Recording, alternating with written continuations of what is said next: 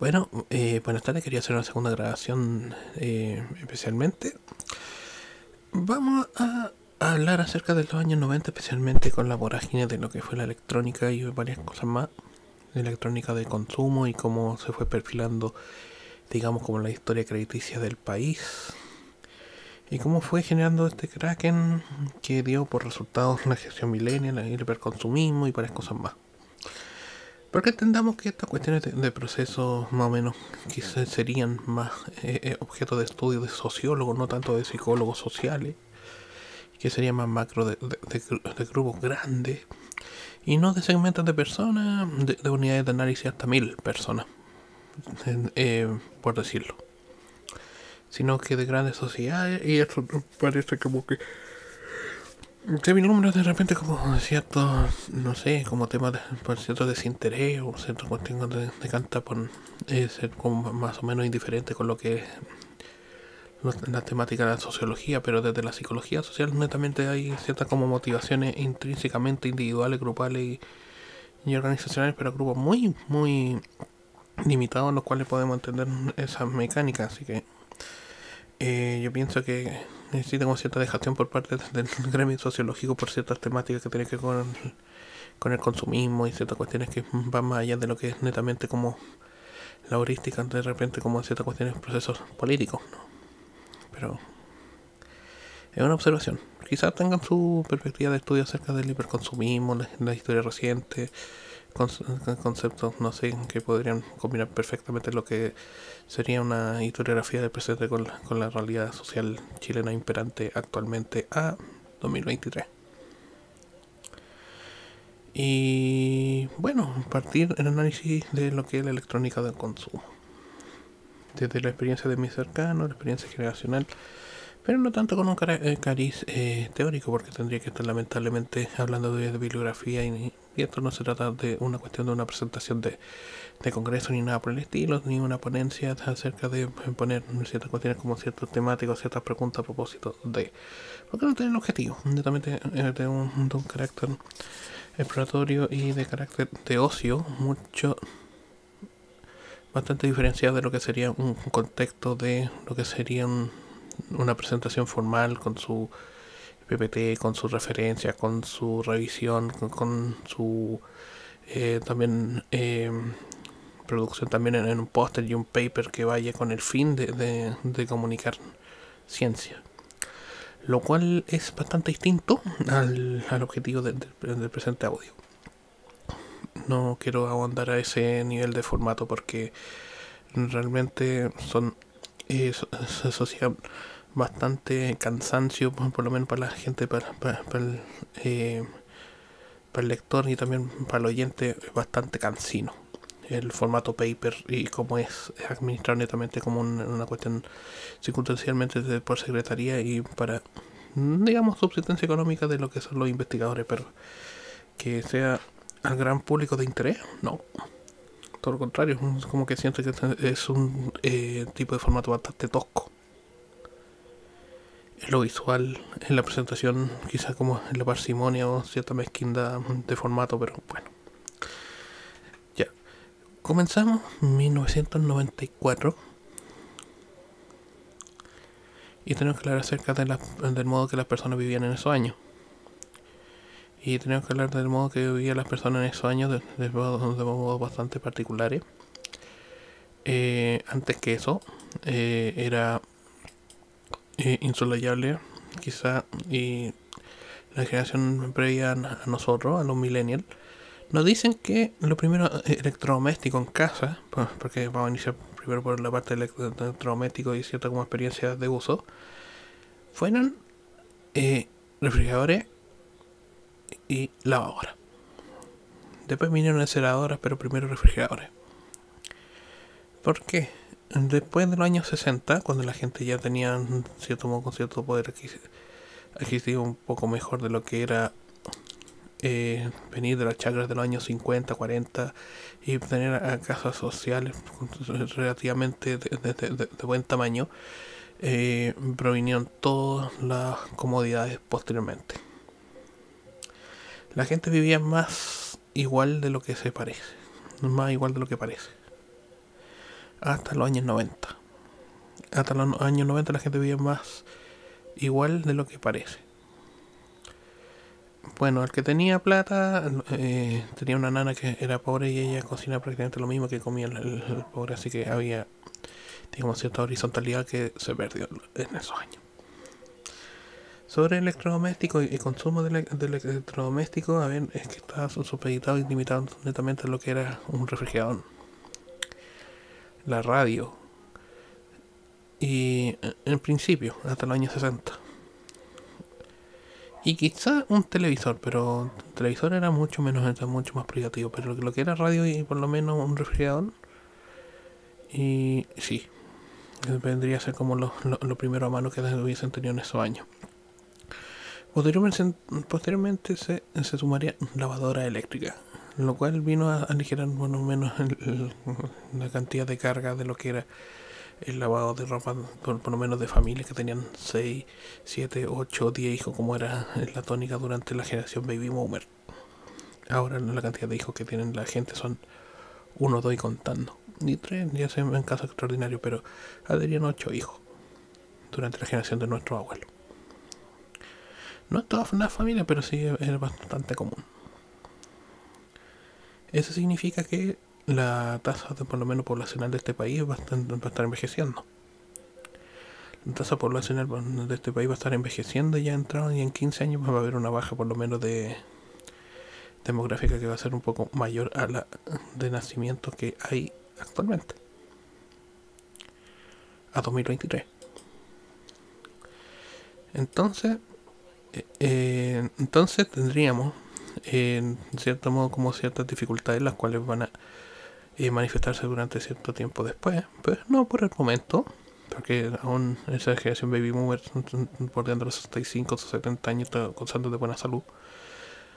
Eso va a haber un, una, un alza dentro de lo que serían los planes o valores de salud, se tomó lagunas previsionales y entre otras cosas las cuales van a verse después. Pero hablemos sobre la electrónica.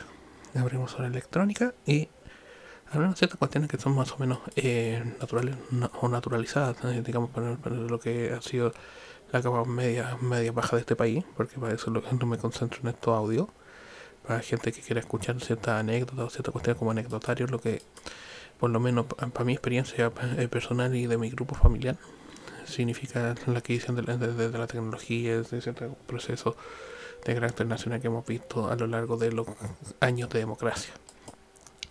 Yo no iba a hablar de las etapas previas porque yo no tenía conciencia.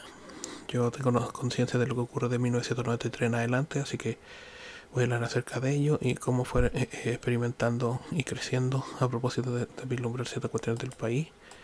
A su vez, mientras era relativamente eh, probable, digamos, por lo menos, entendiendo ciertos puntos de los cuales partir de lo que era, digamos, como una niñez tranquila y feliz. Y lo digo así, una niñez tranquila y feliz, eh, con, con, la eh, particularidad de lo que fue la generación de los 90. Bueno, partimos.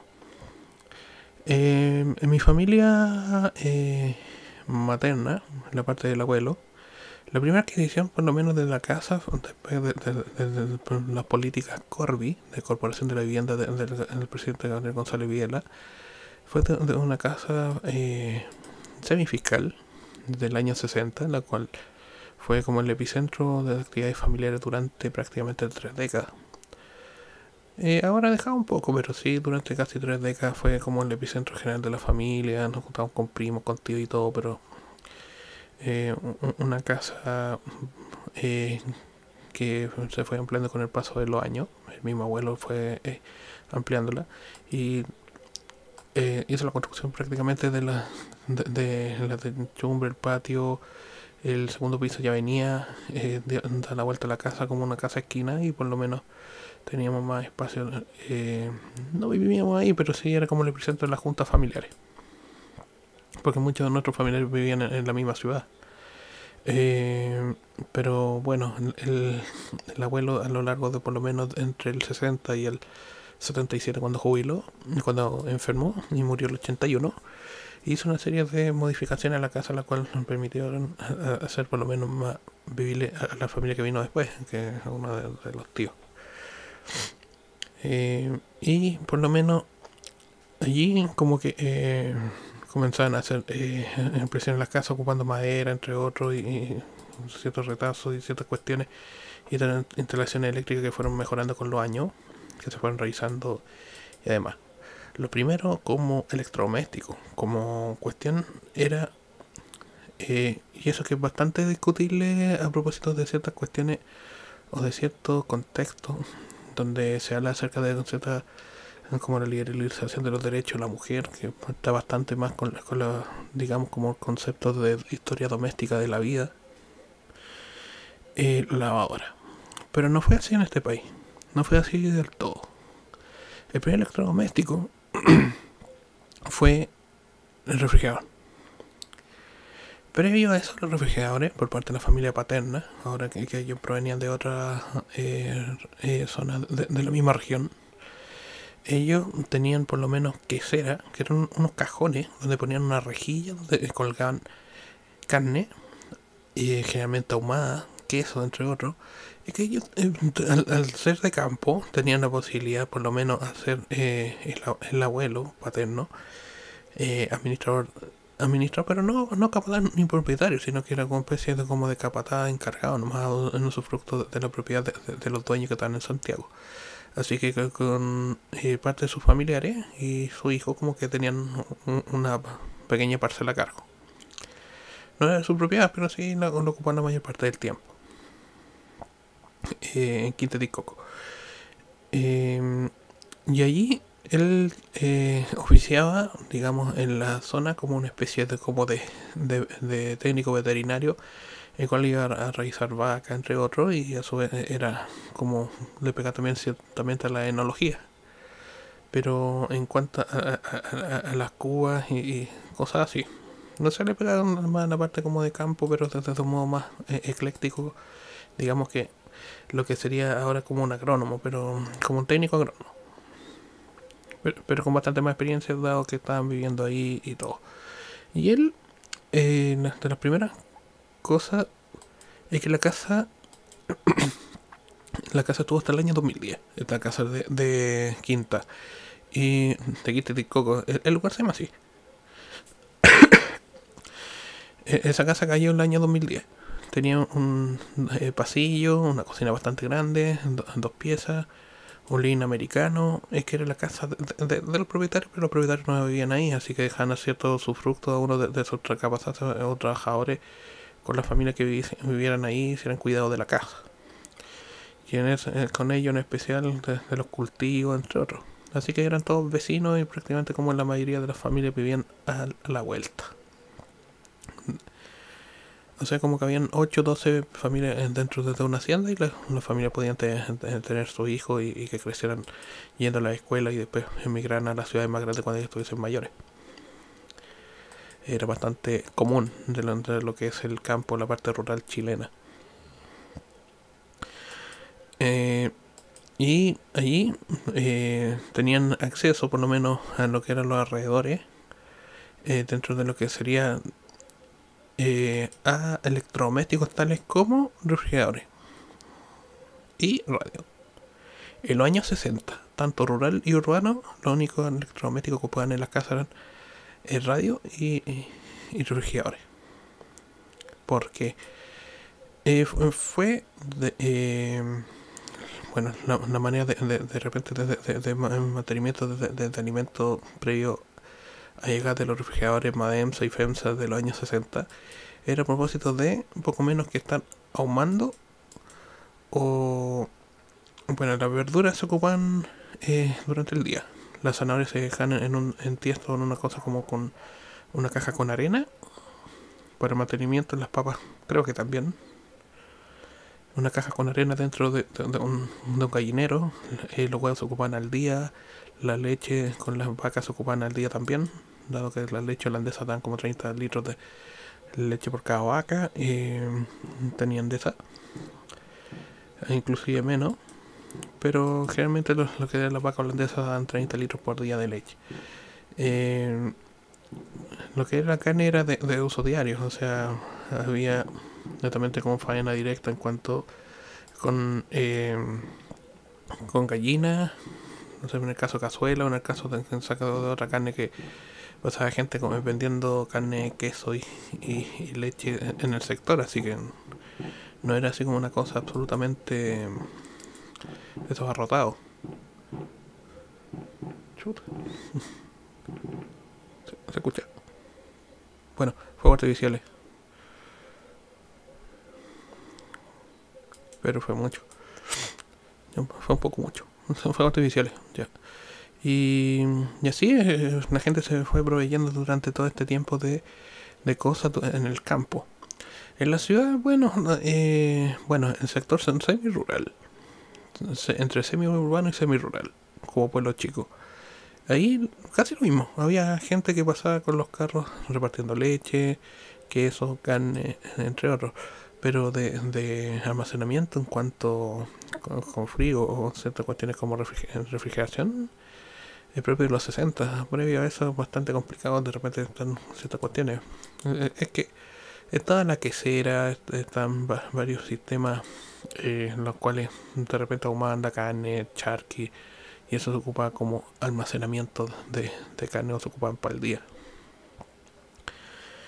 Eh, porque era bastante necesario lo que era el rol del carnicero cultivador de, de, pieles en esa época.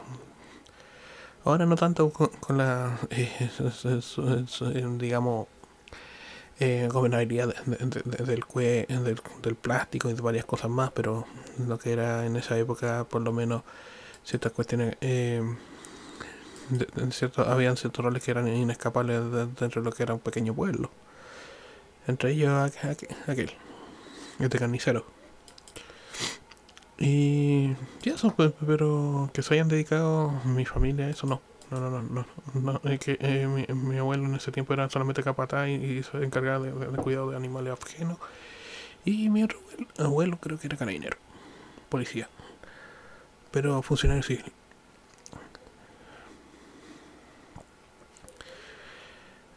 Y llegamos a los 70, comienza eh, la, primera ola de atracción por, lo que es en lo electrodoméstico.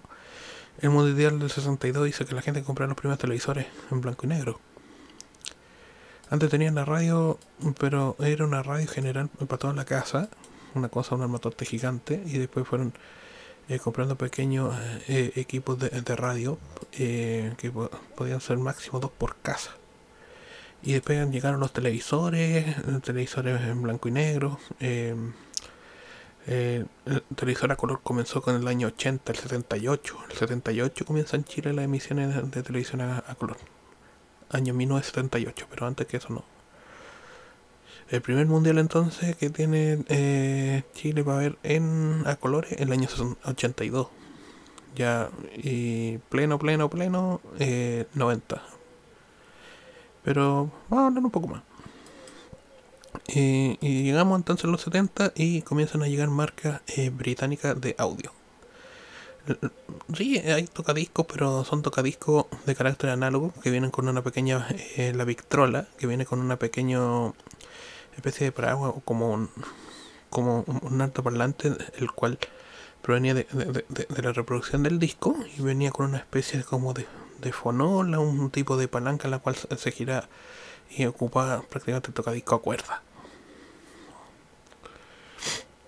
E, e, eso es como el sistema análogo de, de, audio de época. Después que eso, el, televisor blanco y negro, después de 1962, vendría, provendría el, el a la luna de 1969. Y después los, los 70 donde aparecen los mejores, mejores sistemas de audio, entre ellos los los japoneses y, los americanos, donde la gente ya comienza a tener equipos integrados de audio, los primeros de, de, cassette, ya a fines de los 70, pero primero como tocadisco. Y también emisora. Y se, encarga en cierto modo como de ser como el centro del ocio de lo que era la, la familia posteriormente. Después eh, durante el tiempo la UP y previo la, la autarquía de Don Pino, lamentablemente como que tiende a empobrecerse la población producto de la devaluación de la moneda, camino a la, 80, a la crisis del 82 y como que la gente como que deja de gastar en ocio y como que la gente se retrae otra vez a ser relativamente simple de nuevo. Pese a que la gente ganaba plata, pero igual como que la gente se mantenía por, eh, eh, eh, digamos, por mantener un tipo de vida relativamente modesta. Sin tanto, sin tanto alarde, sin tantas cuestiones, pero eso, es que esos equipamientos por lo menos estaban pensados a largo plazo, que duran 40, 45 años, sistemas de audio ruso, británico, japoneses, que eran de bastante muy buena calidad y algunos funcionaron hasta los años 90 como fue la National Panasonic que tenían en la, casa del abuelo. Em, llegamos al año 80 y aquí se vislumbra una diferencia más. En el 90 no hay tanta diferencia tampoco, pero los años 80 con los videocaseteras, las personal estéreo, como que la gente comenzó a hacer, digamos, un tipo de, consumo de, electrónica que era individual, frente, no sé, a lo colectivo que era los sistemas de audio familiares de, los años 70, eh, la gente como que comenzó a, a tipo de, electrónica personal. Eh, ahí está el personal estéreo, los Walkman, entre otros, pero eh, es que acá estuvimos con problemas de desfase, por lo menos no de importación, pero sí de ciertas cuestiones como de llegar por lo menos 6 años de diferencia con, el mundo anglo. 8, 8 años de diferencia personas estéreo llegaron a finales de los 80, eh, se pusieron más de moda como a, inicio, a mitad de los 90, las videocaseteras. En el reproductor de, de llegaron en el 96, mientras que en Estados Unidos estaban de los fines de los 80, así que eh, habían una serie de, cuestiones, se tomó como ciertos obstáculos que provinieron precisamente de, lo que fue la, autarquía y, que siguieron la democracia con lo que la importación de ciertas cuestiones. Eh, durante esa época también no había abaratamiento de costos y de, importación y también por ciertas cuestiones porque no eran bienes de primera necesidad. La cosa cambia desde 1994 con el acceso al crédito. El acceso al crédito en ese tiempo, eh, Falabella, eh, entre otras agencias, aparte que había las financieras, prestaban crédito a las personas y ese crédito netamente de consumo era netamente como, para competir con el vecino, para competir con los familiares, porque para que tuviesen el mejor eh, sistema de audio, el televisor, la color. Pero así fue, así fue cambiando las cosas. Ahora que sale el primer electrodoméstico que la gente se pregunta por tener, yo creo que una lavadora en una casa. Después el televisor y todo lo demás. Primero eh, una lavadora, después eh, un refrigerador netamente por cuestiones de, mantenimiento de, alimentos y cosas así, pero es lo primero que se pregunta. Lo que debiese preguntarse. Y comenzamos con la época de Bancard. Y aquí tenemos a los Piñera. lamentablemente. Y digo lamentablemente porque, bueno, el, el, tipo se ha dado vuelta la chaqueta y ha sido bastante, por lo menos, patético de lo que fue de su salida como presidente, siendo una entreguista y aparte de su hermano, el, perfectible que era. Bueno, pero entendamos que eh, a ese tiempo ya venían con, el modelo, era un lecturer en Harvard, netamente como un lector de un, dador de clase, como una especie como de ayudante de, medio rango y, viene con esta idea de la era un tipo Visa Mastercard, pero de carácter doméstico a Chile. En la ATM, el modelo del ATM acá a Chile. Le funcionó de maravilla, de maravilla, le funcionó de maravilla. Aquí la gente por lo menos comenzó a endeudarse a inicios de los 90, 94, 95 con primero los equipos AIWA.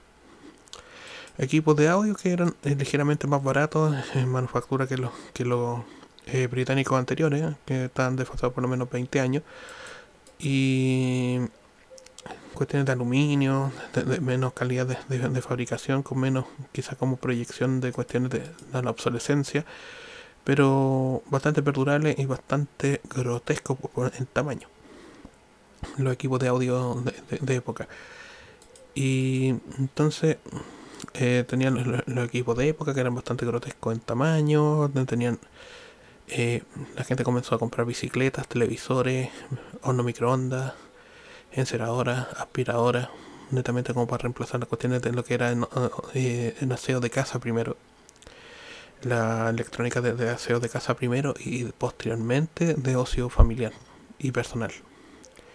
Y ahí comienza los videojuegos antes que eso no hay por parte de la gente conciencia acerca del consumo de videojuegos y más mm, eh, se proviene quizás de, las generaciones más jóvenes netamente por, un ocio más colectivo cuando las familias tenían uno o, dos hijos porque era muy raro que tuviese más de, tres hijos una casa así que tenían que turnarse porque las máquinas venían con dos controles así que era más como un entretenimiento para los niños, mientras que para los papás, no sé, un VCR, un, grabador de video que tenía que ser relativamente religioso junto con la televisión por cable y eso comenzó desde 1996 a presentarse como entretenimiento secundario pero que fue dándose después generalizado hasta 2005, 2006, 2010 ya cuando ya fue más masivo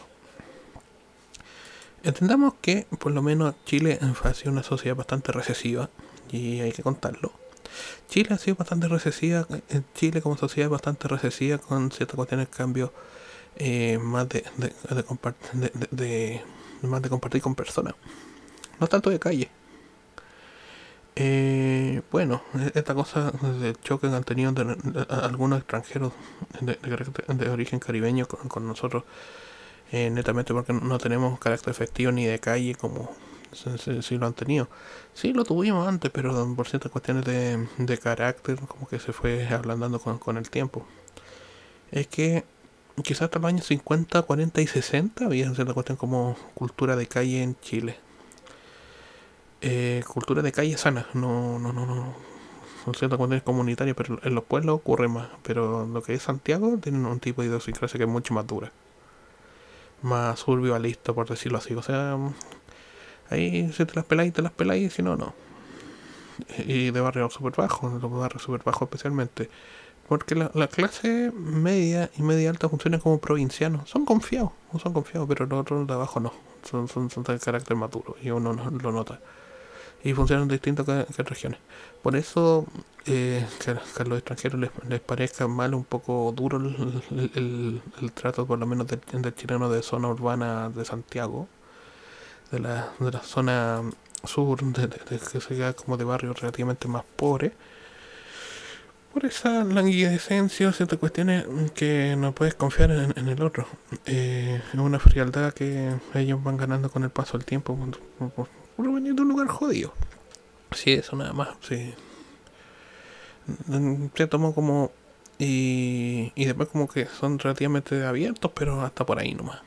No, no es que sean personas eh, absolutamente abiertas ni de confianza con, con, los demás así que bueno.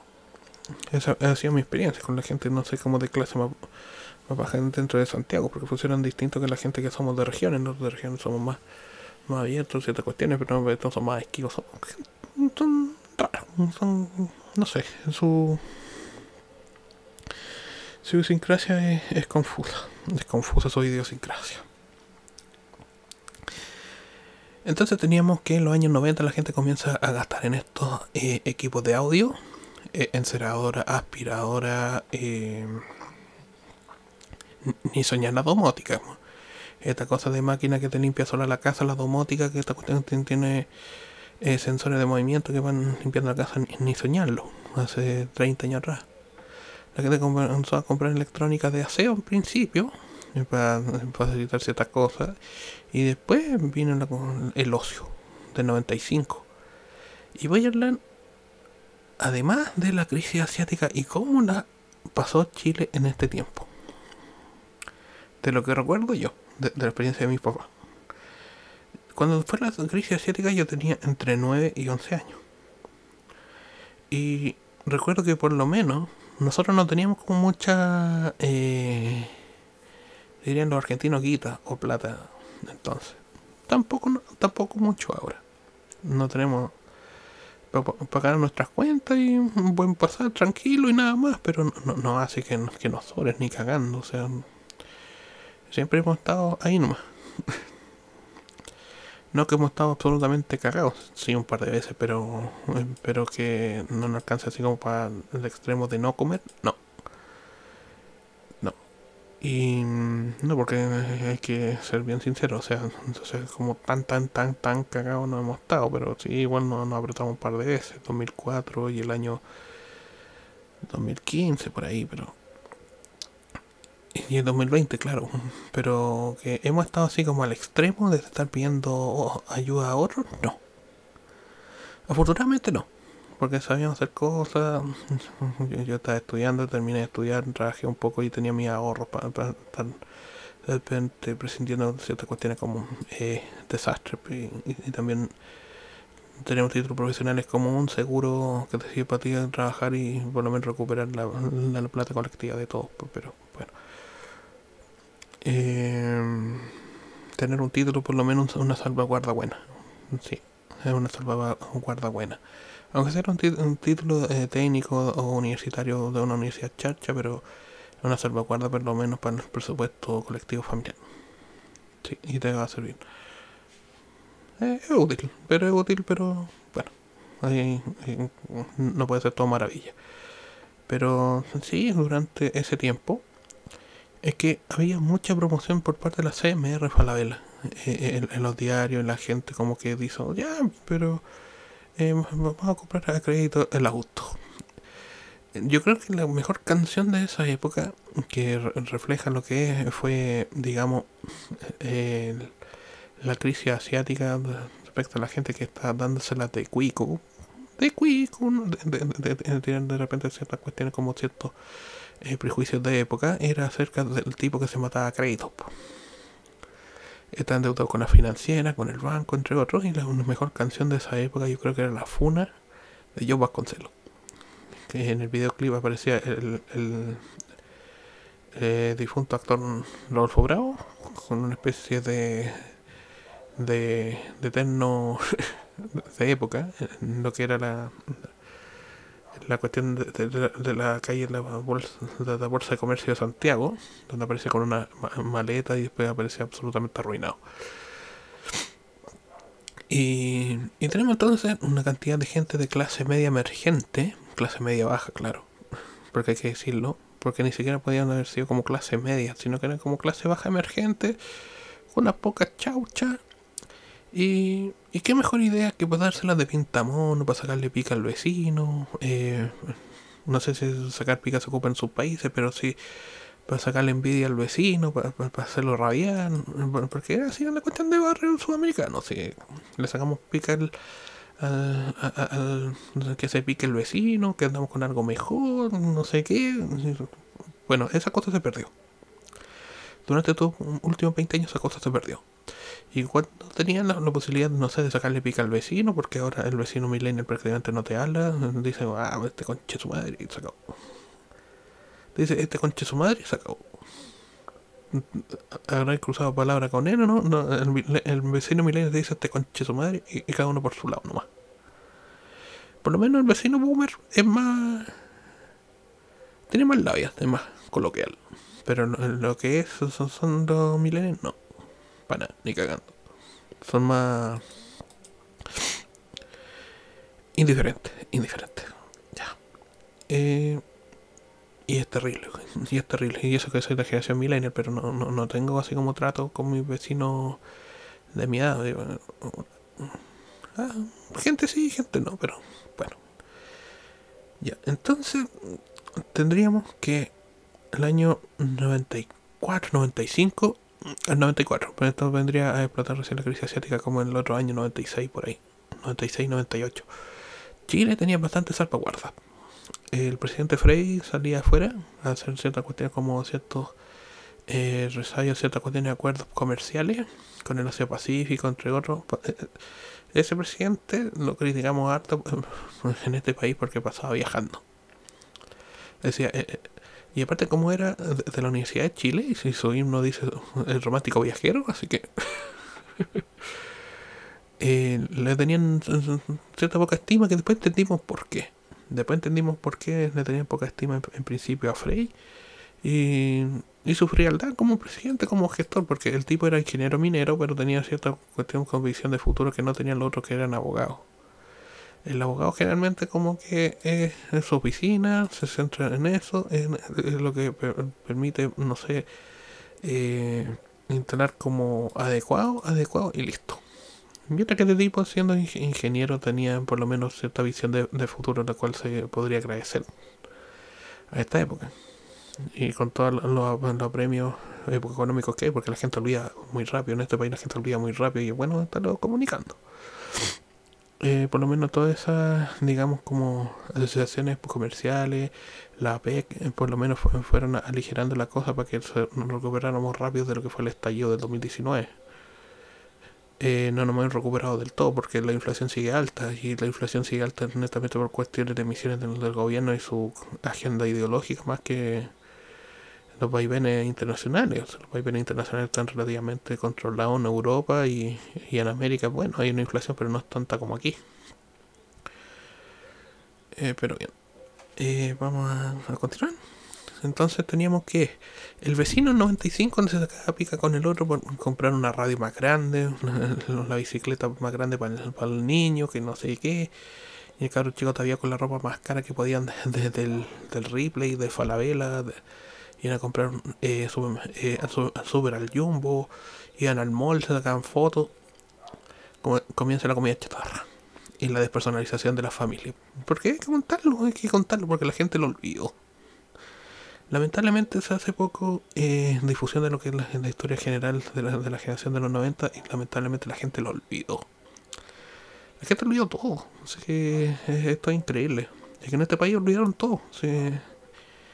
Eh, la gente olvidó todo. Sí, eso es lo que pasó. La gente comenzó a olvidarlo todo netamente por, por oportunismo, porque no, no, no, no, permitían recordar o porque no tenían de repente como ciertas cuestiones de, ciertas de conciencia, pero la gente comenzó a olvidar, a olvidar todo. La gente se borraba. Ocupaban alcohol y después la droga durante 30 años para borrarse. Y, lamentablemente esas, cosas las han estado olvidando y, eso sumado a un sistema pueril de, educación en, los colegios públicos, claro.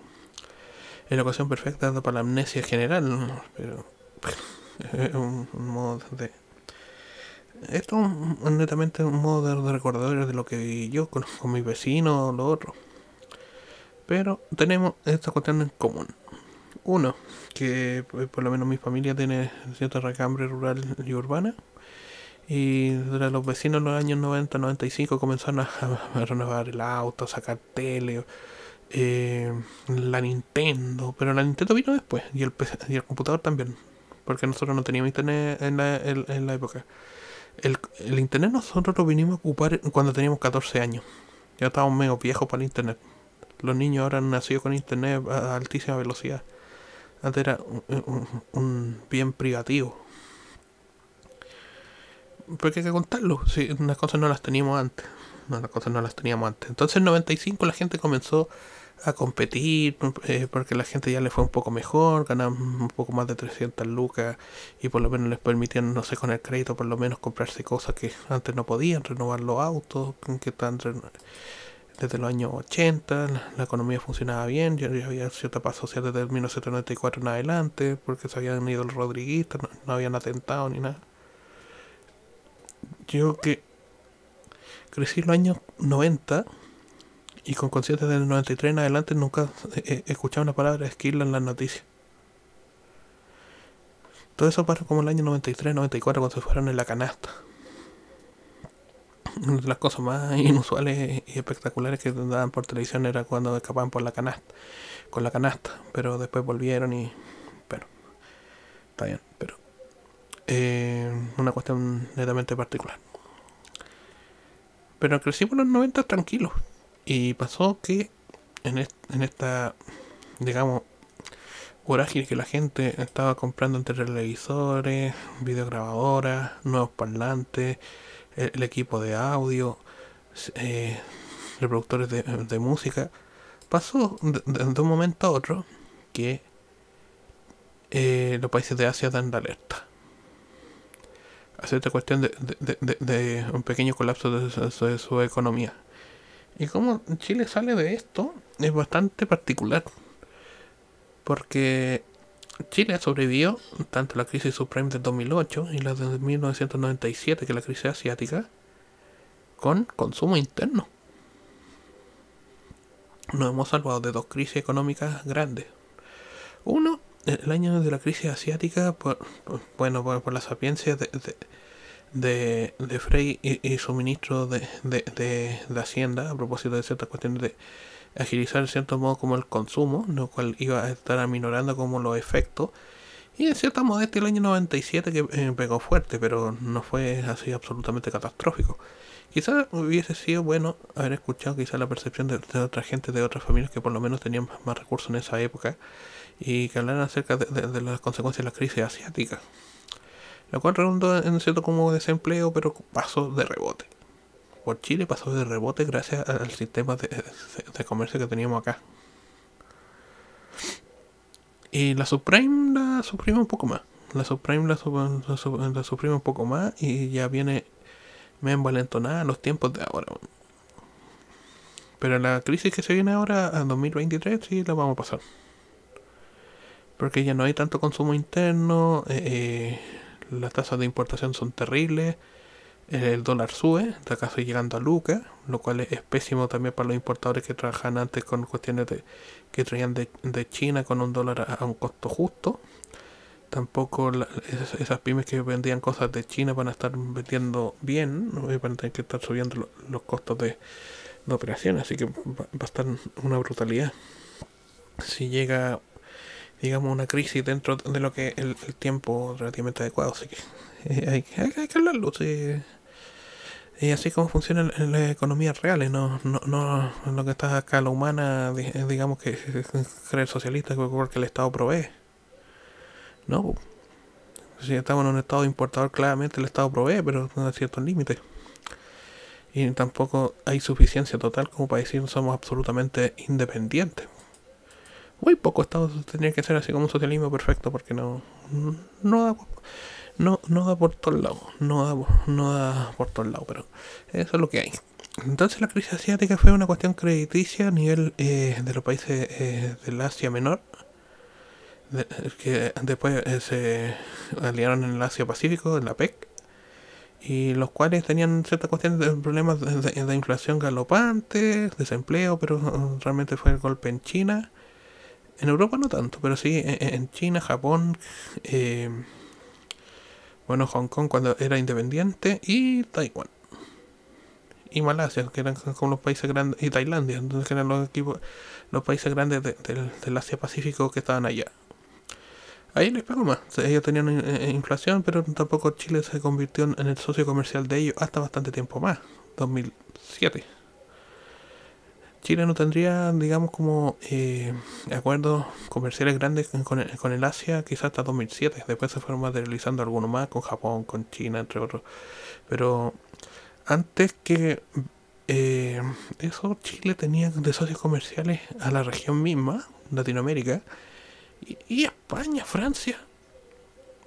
Chile era bastante modesto el grado de alcance que tenía en la época de Frey, así que después fueron liberalizándose y poniéndose dentro de los grupos de, de, seguridad, etcétera, etcétera, etcétera, que esto ya historia conocida, pero lo que hizo bastante en Bachelet con el, con el tiempo. Entregando soberanía, pero eh, lamentablemente es una cosa por otra, pero sin que, que sea la apertura como que no, no ha quitado por lo menos de los efectos de dos crisis encima. Hay que agradecerle a la señora B. Hay que agradecerle a la señora B por haber puesto eh, lo que serían estas cuestiones liberalizadas con ciertos acuerdos internacionales, los cuales iban a estar aligerando la carga, por lo menos de la crisis subprime para el 2008. Que también voy a hablar después, pero en la época de los 2000 no, es mi, mi terreno todavía, sino que estoy aún en los años 90, 94, 95, 97. En, en resumidas cuentas, la crisis asiática eh, se enfrentó con el comercio interno, a crédito. Que la gente comenzó a comprar tarjetas, había muy buena liquidez, a diferencia de que ahora hay poca liquidez por, por, por las tarjetas Y que en ese tiempo había cierta liquidez y la liquidez tampoco se, se reflejaba en, en, una inflación porque era bastante menos movimiento. Cuando hay... Eh, y no está tampoco tan, tan afectada ni devaluada la moneda local. Había menor devaluación, eh, había menos flujos de importaciones porque la gente vivía más modesto. La gente compraba cosas de lujo netamente a competir con el vecino, pero es que no era tanto lujo tampoco, era como eh, electrónica de consumo más casual. O sea, se entendía como lujo en esa época, pero no era lujo, sino que era electrónica de consumo estándar nomás, sino era un Sony Motec, sistemas de, de, audio británico, como si podían encontrar en los años 70, pero no, es que no era lo mismo, sino que era electrónica de consumo con eh, materiales bastante eh, más más frágiles, mucho plástico. Ahí como que entendimos ciertas cuestiones que tenían que ver con la calidad de repente de, fabricaciones y, después nos dimos cuenta que iban a peor, pero bueno, y desafiando como digamos la, obsolescencia y la longevidad de, la tecnología. Pero es un detalle, un detalle, pero lo que es la crisis asiática que se enfrentó con el crédito interno la gente comenzó a consumir, a competir el vecino porque tenía la tele, renovaban el auto y no sé qué, pero la gente es que vivía demasiado simple. La gente vivía simple. En el año 80 la, la gente vivía simple. La diferencia comenzó con la LOCE, con la Ley Orgánica de, de, Educación. Ley Orgánica Calidad de Educación de 1981 eso lamentablemente hizo que eh, se promovieran mayores universidades, la, universidad eh. Eh, creció la oferta de la, de, la educación superior a, estratos más bajos. También la oferta de, lo que eran universidades también aumentó y, florecieron otro tipo de, áreas, las disciplinas STEM. Hay cierto dolor por parte de, de ciertos académicos de ciencias sociales cuando hablan acerca de la LOCE del 81 y de ciertas personas también del gremio, las, las cuales eh, eh, hablé con ellos y, y sentían como dolido a, propósito de que hubiesen tantas liberal, eh, aperturas de, tantos programas de, de, de, educación superior. O sea, como destacándose como que la transversalidad de la católica y la Chile como casas de estudio eran exclusivamente así como las eh, regentes, digamos, de, conocimientos de, un carácter superior o elitista versus lo que era un cierto plantel un poco más novicio o, más eh, nuevo, pero también un tema que voy a estar explicando también, eh, ciertas cuestiones de, las dificultades gremiales que, que, hemos tenido los psicólogos durante los, últimos 40 años y, que presente eh, en el trabajo de tesis, pero bueno, es que es una cuestión netamente, no, nada circunstancial, sino que es netamente una cosa más, más, no sé, significa de repente en ciertas cuestiones como más, más sensibles. No tanto por política, sino que, netamente por cuestiones de gestión gremial. Eh, y por apertura también comunicacional y, y, de estatus que ahora por lo menos podemos gozar los profesionales actuales, pero que muchos no trabajaron para bien y para mal otros colegas durante los, los 70, 80 y hasta los años 2010, para que pudiéramos nosotros entrar con cierto estatus dentro de, lo que era eh, el mercado de trabajo. Pero bueno, eh, este es el capítulo que trató acerca de, la crisis asiática, de los electrodomésticos, y después voy a hablar acerca de, ciertos productos de consumo que habían en la época. Eh, se puede, entrar a, videojuegos, lo que es el ocio que teníamos, qué tipo de películas, los videoclubes, eh, cuál era nuestra experiencia con los videoclubes locales, etcétera. Netamente para estar compartiendo lo que es la perspectiva de los años 90, 2000, para estar encaminándonos a lo que es el estado actual de cosas. Así que eh, yo pienso que eh, debe estar bien de audio por día. Así que puedo hacer y, y si es que si me es posible un, audio por día pero que sea un capítulo bastante grande en el cual me pueda explorar sobre bastantes cosas que ocurrieron hace 30 años atrás en Chile y que la gente lo olvidó ese, es el punto del cual quiero volver es que la gente olvidó ay, ay, ay. pero la gente olvidó que vivieron modesto no pobre modesto Pero la modestia se le, se le fue a las pailas. Y. La gente lo olvidó. Si, si eso que. Netamente, y este podcast es para que las pocas personas que lo escuchen, para que recuerden qué pasó, otras personas de otros países sepan cómo vivíamos en Chile en los años 90, 2000 y cómo llegó llegamos al desastre del 2019, porque quería hacer ciertas cuestiones como el archivo testimonial por lo menos de la generación y mi experiencia dentro de, lo que pude ver a propósito como de ciertas cuestiones como para archivar netamente para archivar porque me da una lata de escribir libros yo pienso que por lo menos este formato me va a parecer un poco más lúdico que estar eh, escribiendo libro y libro y libro y libro, y, quién los lee? En Amazon, en, quizás con literatura inglesa, pero no sé, pero es que es distinto, es distinto y quizás puede hacer una síntesis después, pero cuando esté más viejo, pero ahora no, ahora no, no me veo en con la situación suficiente como para estar la claridad suficiente digamos, como para estar empaquetando un libro porque ya salí de eso y, y un dolor de cabeza. Ok, dejo el audio hasta aquí y después voy a estar explicando más, más cosillas al paso de los días y ciertas cosas también, leer noticias y, recordar. Si, sí, eso es, es que la gente no se olvide qué pasó. Ok, voy a dejar hasta aquí y voy a continuar en otros días más. Ok, hasta luego, que les vaya bien. Tengan una buena semana. No, tengan un buen fin de semana, porque si estamos a a día viernes, weón. Pásenlo bien. Buen fin de. Nos vemos.